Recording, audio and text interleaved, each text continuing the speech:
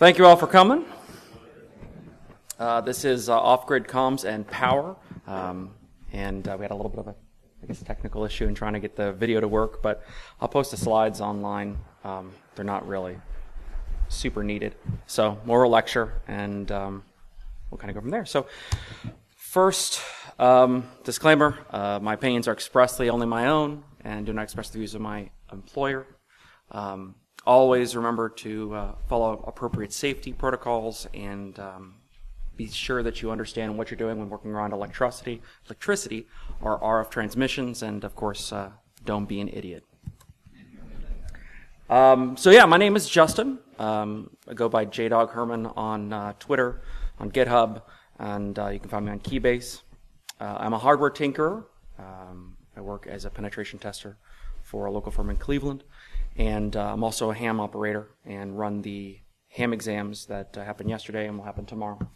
So if you're interested, if any of this stuff kind of um, draws your interest and you want to jump kind of feet first into uh, that world, come see me afterward and I can talk to you a little bit more. Um, I'm also an imposter, so I tricked you guys into coming here. So that was great. Uh, so shit hits the fan. Who, what, when, where, how, and why. It's really the basic questions to be asked when you're thinking about how am I getting out of this particular problem. Um, you know, who are you going to be needing to communicate with? You're talking about comms. Um, what is happening around you? What, what sort of resources do you guys have that you can leverage in order to get back up and online? Where are you at, or what sort of distances are you trying to cover or um, clear if you're trying to go from one location to another or um, uh, get connected? Uh, when might this happen? Is it happening, you know, during the night or in the winter? Um, why are you having this sort of problem? And of course, how are you going to make it all successful? Um, I know that many of us, uh, you know, have carried bug out bags, um, and I know that I'm, I'm, no different than that. But uh, I think commonly we forget about how we're going to power all of our devices when we get out there. Um, once our batteries run dry and our battery pack are uh, might might go to empty. You know, we're going to be just like the plebeians, running around without power. So when we're thinking about electronics, we're going to bring when thinking about um, emergency preparation. Um, we really need to be thinking about where we'll we at and can you take it and the technical limitations of the other people that you're attempting to communicate with because it's it's great if you understand how to communicate but if no one else can reply back to you or, um, or really hear you then um, it's all kind of for naught. So the most basic sense, everything, everyone carries this, this form of communication. Has a lot of um, ubiquitous opportunities. Is is obviously your cell phone. Uh, it's convenient. It's uh, readily available, but it's heavily dependent upon your network coverage and availability. Oh my God. Okay. No, th- this is the wrong way. um, yeah, uh, depending on network coverage and availability. Um, I don't know if you guys have ever been in situations where uh, you have had um, poor cell coverage or um, high utilization. You can see, be it even just a concert, uh, you're not able to make any sort of data transfer. You may have full bars, but the network's saturated, and uh, you're not going to get any messaging out. Uh, or you'll be reduced down to the slowest possible um, methodologies. So, some of the products that we uh, that I'm going to mention here and some of the techniques I'm going to talk about uh, involve using alternative methods beyond just relying on the cell service. And um, the first one is uh, a product called Gotenna Mesh. Uh, it happens to be really small and convenient. Uh, it's a fairly new product.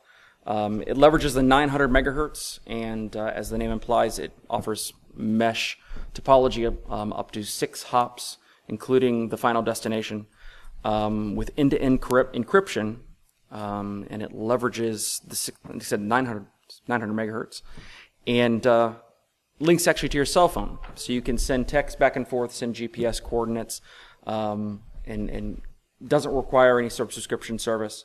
It has a built-in battery pack, so you kind of get a day's worth of usage, um, active usage when when leveraging it, and uh, it's an easy adoption. You can hand that out to you know your your significant other or your your kids, and uh, they would be able to kind of un- instantly understand they need to open up the app and uh, begin communicating. Gotenna Mesh. G O T E N N A Mesh. they run about ninety dollars per each. You can buy them in a pack of two for one eighty. That's list price. Don't spend list price. Um, I always carry one to any of the cons that I have. So if, if you see anyone else, I know there's a few other people here that also carry them. Um, again, they opp- opportunistically mesh um, and don't require any calibration or connection with that. Uh, next one, if you're a little bit further away, but you still want to get in connected with other people, is um, the device called the Spot Messenger. Um, it's uh, sort of on the waxing of their of their product line, but it um, allows a one-way available messaging. So not only give you a tracking position, so you could hand that out to, um, you could let someone know that you're going to be heading out and have that particular device. You can send a quick message that you're safe, or um, be able to send a waypoint of communications. It is subscription based and it runs about $150. It also has a, uh, a battery pack inside, so power for that. And it, I've seen those run for about 18 hours um, with active usage. Next is we're talking about voice. Um, there's FRS and MRS communications. Those are the family radio services and the general mobile radio services. Um, they are both really low cost to use, low, low, barrier of entry, easy to hand out. Those are the Motorola's that you might find in a Target store in the clamshell pack, and you pull them on out. A couple things to know about those, though. You can't do any modifications to them based on their license. Uh, they are limited to two watts of power. You got preset channels um, that you can only leverage. The GMRS is a low cost license. I think it's like $75 for like five years, the FCC. But it does grant you the ability to have some peak power up to 50 watts. But again, fixed frequencies, fixed usage, uh, no data over those, those communications, and no point to multi point um, ability. There's a no, new one that's kind of uh, on the scene, and that's uh, called the Othernet or Outernet. They've kind of been switching names. Um, it is a receive only methodology. It uh, fixed reception. It's basically done on global satellites. Uh, you can point your dish, uh, low cost dish, at the particular point, and uh, they are constantly streaming um, news and education, weather. Um, you can actually send messages uh, out um, for subscription for other people. You, you, drop it in their Looking Glass um, web app, and it will send it down to all the uh, all the recipients.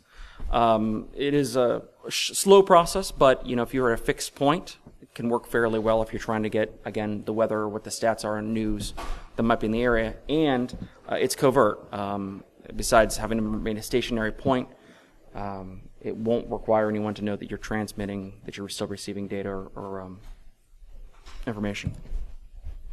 And then, of course, um, you know, there's license-based radio. Um, you can go to the FCC and, and petition them and request and license person, certain bands to get access. Um, but I don't know if you guys are like me. I, don't like to spend a whole lot of money. So that led me to ham radio. Um, you know, there's our HTs, which are the handy talkies carry around. Uh, there's mobile devices, which you know people use, sometimes use them on the desk, but a lot of times they'll put them inside their car. And um, also fixed base which are much larger uh, units that can live on your desk. Um, a lot of people think that that's just all analog and it's all old school stuff. Uh, nothing's kind of new or come out in the scene, but that's not entirely true. Um, there's actually DMR, which is a um, digital mode radio. It's kind of nice. Uh, there's several different techniques that are out there, um, including like D Star and full DMR, and um, I'm forgetting all the other plethora of different um, manufacturers' flavors. But um, you can actually get you can actually create a project right now called the uh, DMR hotspot and uh, uses a Raspberry Pi Zero and allows you to connect that device back into your cell phone if you wanted to, um, allowing others to jump on and jump back out through cellular service and uh, into other DMR networks um, by using linked technologies to different repeaters. Uh, it is licensed, so all of ham radio you need to be licensed, but the license is really cheap and easily get into. In fact, um, starting uh, tomorrow, we will have the exams, and those are actually all for free. Um, we uh, has wide capability. Lots of people are available to have access to it. But one of the key things is it's not encrypted.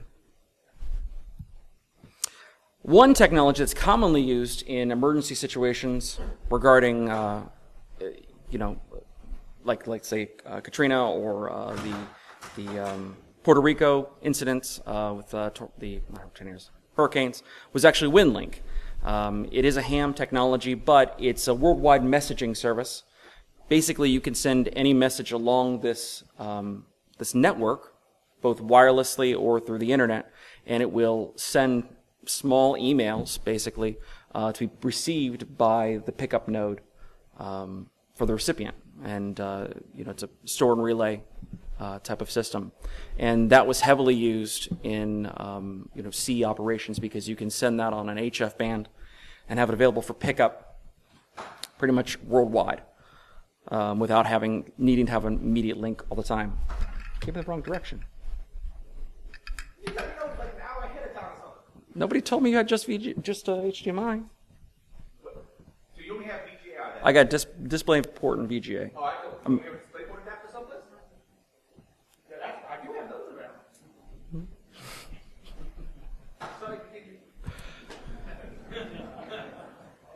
So all these things are going to require power, though. Uh, you're, you're looking at uh, a couple nominal voltages, uh, 12 volts being between uh, 11.5 and 13.9. Commonly, the six-cell uh, lead-acid batteries. You find those a lot in you know uh, motor vehicles, um, both uh, motorcycles and uh, cars and, and whatnot. And then, of course, uh, the ubiquitous 5 volts um, that uh, you can find in USBs. USB is not just 5 volts, though, so um, you want to be aware of that. Some of the newer charging methodologies allow for faster charging with 9 or 12 volt. Uh, and of course, line voltage 110 that might be available. Uh, each of your devices that you might want to charge or power using these particular methodologies, um, it's usually more ideal to maintain at the lower voltages, uh, 12 volt or 5 volt, because a lot of the devices themselves, even if they plug into line voltage, then do reduction, reduction and um, rectification. So it doesn't make a whole lot of sense to try to invert a lower base voltage up to 120 and then back down into uh, a 5 volts that might be inside the device. So when figuring out which systems you're going to put in place in order to um, power these devices, it's, it's a good, good idea to think, okay, what, what can I do to maybe avoid that, those losses? Uh, USB battery banks, I know that everyone kind of carries them. Um, I did mention about the 5 and 9 and 12 volts. Um, you know, there is limitations for those to be on flights, but uh, usually not a big deal in emergency situations. Uh, the battery technologies that are kind of out there, when you're thinking about carrying around a battery, uh, you've got lead acids and lithium ions, lithium polymers, alkalines, um, of course, NiCad and nickel hydroxide.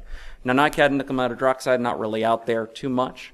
I know a lot of people forget about uh, utilizing alkaline, but they are quite available um, and ubiquitous, and they're uh, easily leveraged and stored. They have a great uh, shelf life, but they're obviously not. They are re- non-reusable.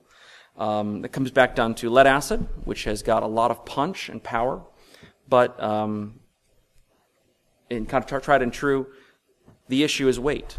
When you're talking about remaining light and mobile, going from location to location, so you're coming back down to lithium ion and lithium polymer. A lot of people say, well, you know, lithium polymer sounds great. I've used my drones, able to fly them around to use lithium polymer. The problem with those is how temperamental they can be.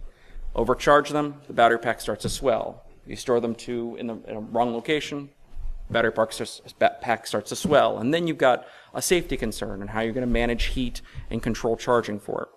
Lithium ions, which include like the 18650 lithium ion um, phosphates, uh, batteries on lithium ion um, with iron um, iron oxide technology, allows you to um, a, a fairly stable package, um, which is 18 millimeters in diameter and 60 millimeters tall, um, and uh, are pretty much all laptop batteries. And so when I was beginning my project, I started out just by collecting those. Uh, I collected uh, hundreds and hundreds of battery packs. Um, I happened to uh, reach out to a couple small businesses and uh, let them know that I was going to be recycling them, and they were happy to have a place that they didn't have to pay to have them taken away. Um, a lot of people say, well, why would, why would you keep all this around? You know, get, get some weird looks from the significant other.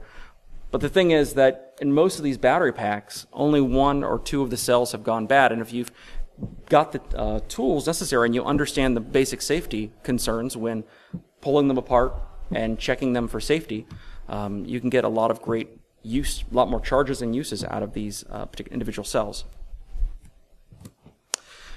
So when you're checking for cells, you know, you're cracking open the, the battery pack and you might uh, check for physical cleaning of the cells.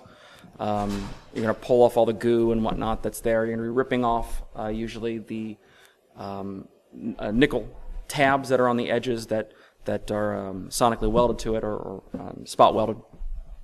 And you're going to usually start for a starting voltage. If the cell is below one volt uh, in a lithium-ion battery, it's usually pretty close to dead, and it should be put aside because it's not really worth your first phase of work. Uh, a lot of this is going to be in iterations as you as you whittle down from a larger set of batteries into a smaller set of cells.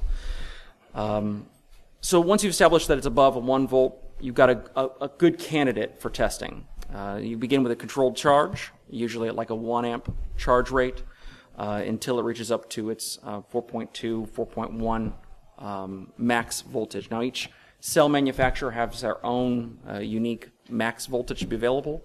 Um, I found that you know if I use 4.2, I'm usually in a safe environment. Um, you do that through a constant voltage and a constant current, um, two different phases when charging. Once I reach full voltage, I'll do a controlled discharge, uh, usually using about a one amp discharge rate, because I want to know if the cell can actually, how much it can actually put out. Um, once it reaches down into the about a, a 2.2 volts, I'll go ahead and stop that discharge, identify how many milliamp hours, I'll write that on the side of the battery, and then I will go ahead and recharge the cell back up to its full voltage. I then take that cell and let it sit.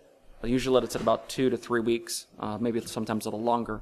And I'll come back and I check to see what the voltage is after I've let it sit and wait. A lot of times, uh, bad cells, you may get a good amount of charge out of them the first iteration, but once you let them sit and wait, you'll find that the cell self discharges uh, fairly quickly, and that means it's got it's built up a lot of internal resistance, which is um, not something you want to have when deciding to pair it with other cells. After that, you pretty much store them based on the uh, swaths of um, capacity.